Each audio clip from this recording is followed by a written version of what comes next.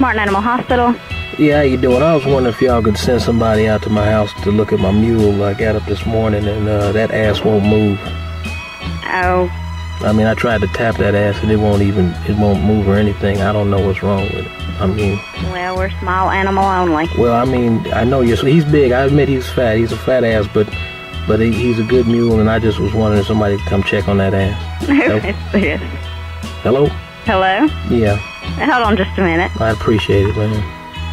This is Scott. Yeah, how you doing, Scott? Great, how you doing? Um, good. I was just trying to, to tell you, whoever that was, that I had a mule out that's dead, and I was just wondering if y'all could come check on that ass.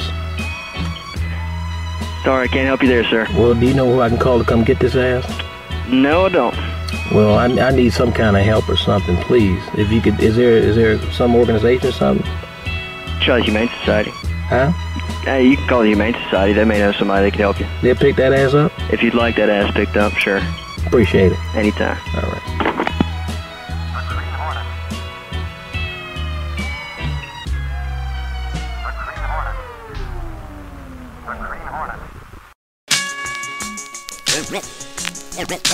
Then we get it.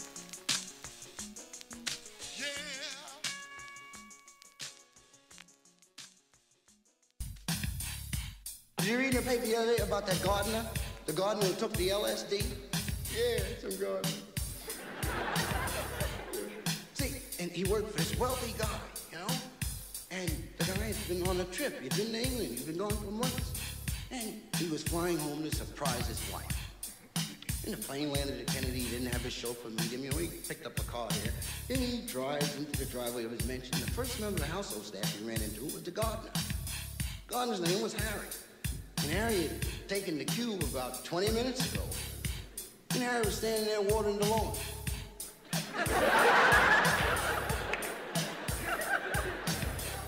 and the boss walks up and said, What's happening, Harry? I said, Ain't nothing happening. Said, Ain't a damn thing happening. Other than the dog died. Boss said, Dog died, Harry? So how'd the dog die? He found some dead horse meat in the barn. He ate it and he died. There's dead horse meat in the barn? Found a dead horse meat in the barn. I said the barn caught on fire and burned the horse and the dog ate the meat and died. The barn caught on fire. Said, how? How the hell did the barn catch on fire? He said it was the sparks from the house. The roof of the house was burning and the sparks flew over to the barn and burned the barn and the horse and the dog ate the meat and died. I said, the house? What do you mean the house? I said, how did the house catch on fire? Said it was the candles. The fire from the candles caught under the curtain and shot up the wall of the roof. And the roof started burning and the sparks flew over to the barn and burned the barn and the horse and the dog ate the meat and died. I said, the candles? What candles? So we got all the electrical fixtures in the house. Where'd the candles come from? So the candles around your mother-in-law's coffin. See, your mother-in-law had a heart attack and died. So we put the candles around the coffin and the fire caught on the curtain and shot the wall of the roof. And the roof stopped burning and flew over the barn in front of the barn and the horse and the dog ate the meat and died. Said, my mama had a heart attack and died.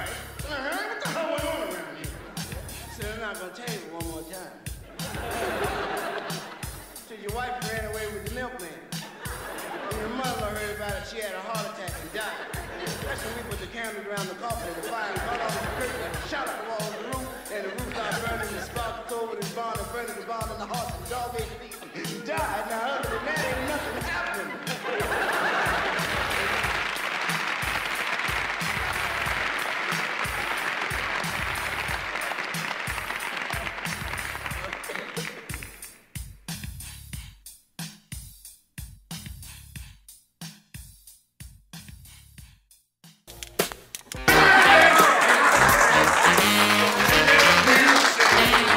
indeed. And now, at this time, we bring you the king of the body record, the one and only Rudy Ray Moore. Let's give him a clap.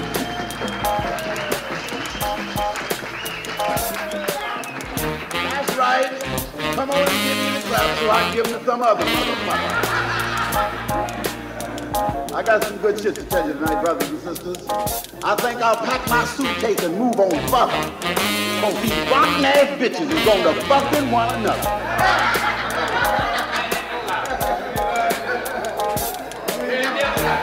These bitches is drawing up a plan. They crawling up on one another's pussy like a natural man. They rubbing belly to belly and skin to skin and fucking like hell and ain't shit going in. What we men has got to do is bring this shit to a stop of is rubbing the hell for one another's cock. And I ain't lying. You know, I went to a motel the other night. Here come a young lady. I carried in the motel. Baby, let me tell you, just as I got just as I got in the motel, here she comes. Oh, oh, daddy, daddy, come on, do something quick, do something quick. I'm hot, I'm hot. You know what I done? Stuck one finger up in it. She said, Daddy, that one finger ain't good enough. Stick another finger up in there. Said, Daddy, since she got two fingers up in there, stick that whole hand up in there. Then now, Daddy, since she got one hand up in there, stick that other hand up in there. And after I got both hands up in there, she said, now clap her.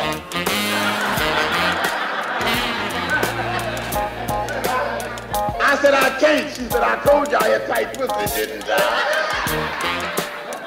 I asked the boy the other, night, the other day, baby, I said, baby, if you had some nuts hanging up on the wall, what would you have?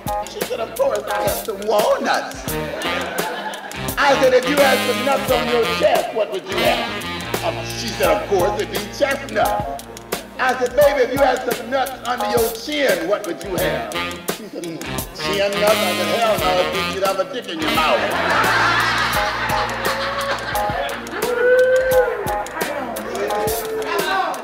A young, a, a young lady, she had three boyfriends and she won't have a baby by boyfriends. You know. Baby, she laid down with her first boyfriend and socked it to him from the start. He rolled up and down that pussy for about an hour, baby. Running one time, she said, Daddy, what we gonna name our baby? He jumps up out the bed and runs out the door making 30 miles an hour. She said, he said, I ain't never went for that shit, bitch.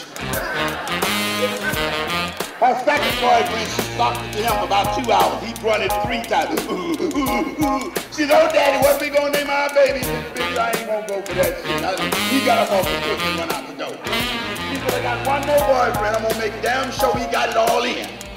She it to him for about five hours, baby. He jumped out that pussy and